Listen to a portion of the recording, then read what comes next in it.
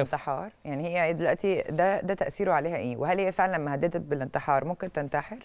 آه، التهديد بالانتحار لو أنا حطيته في عقلي الباطن ممكن فعلا يوصلني لحاجة زي كده. ايذاء النفس ده شيء ممكن طالما إن هو جوايا ممكن إن أنا يعني أعمله. ممكن ألاقي عقلي الباطن بيخليني أتصرف وأنا مش مش راغبة في في التصرف ده هي غالبا هتبقى ساعتها واقعة تحت ضغط نفسي ممكن يعمل معاها تصرف كبير قوي وهي اوريدي فكرت في ده مم. وحطيته جوه عقلها الباطن هيطلع التصرف اللي هي حطيته واللي هي خزنته ما إحنا أي حاجة بنفكر فيها بتركيز ونفكر فيها كتير ودخلت جوه عقلنا الباطن بتطلع عندنا في شكل سلوكيات عند الضرورة مم. فالضرورة اللي هي إيه اللي هي إن زوجها ده يجي ينكد عليها حياتها تاني ويعمل لها مشكلة فيطلع السلوك اللي هي قايلة لنفسها أنا إيه أروح تروح ماسكة حاجة معورة نفسها مع إن إحنا. ساعات بيقول لك مثلا لما حد يضايقك تخيل ان انت بتضربه وفش غلك وخد نفس وخلاص ما أنا بقول إحنا بنقول عليها هي حطت لا يعني أنا. ممكن أتخيل إن أنا بضربه بدل ما أذي آه دايما. بنقول طلع الكلام ممكن ده تضربه فعلا لو هي حطت كده في, في, في عقلها الباطن لا هو أنا لو هت... لو هتتخيل هذا الأمر أو هي عايزة تطلع إحنا بنقول لو عايزة تطلع الطاقة اللي جواك الغل بنقول. آه الغل اللي جواك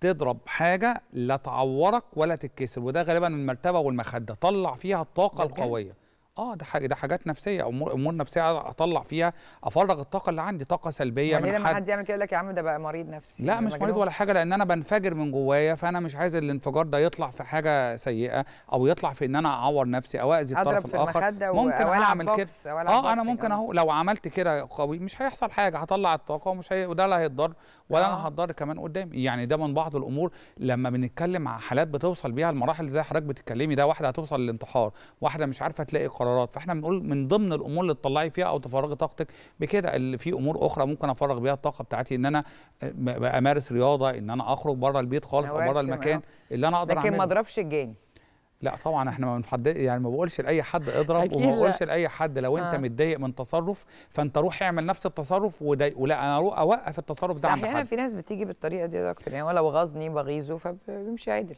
شوفي حضرتك آه، حضرتك بت... يعني هو حضرتك بتكره إيه أكتر حاجة مش أنت بتعمل آه. أكتر حاجة أنا بكرهها أنا بعمل. لحضرتك أكتر حاجة أنت بتكرهها والم- وبحبها وهذا المسلسل لن ينتهي لأن أنا بالتالي أنا آه. كمان طول الوقت بتأذي ما أنا هعمل له كده هيروح يعمل لي كده وأفضل أنا طول الوقت محطوط محطوط تحت ضغط مش هنخلص وخلي بال حضرتك مم. إن دي لو مش من صفاتي الأساسية مم. فوأنا بعملها كأني بلوي نفسي أو بتعب نفسي قوي إن أنا بقى بضايقك وأنا أصلا مش مش من, صق من مش من شخصيتي إن أنا أضايق الأطراف اللي قدامي. فأنا كمان بعمل حاجة ضد شخصيتي وبتقبل الإهانة بقى. طالما إن أنا عملت كده فهتقبل الإهانة. فأنا بالتالي أسأت لنفسي مرتين. فعشان كده بقول لأ وقف الطرف اللي بيعمل لك هذا الأمر. دي حاجة مش سوية مش حاجة مش صحية إن إحنا نقعد نضايق بعض طول النهار.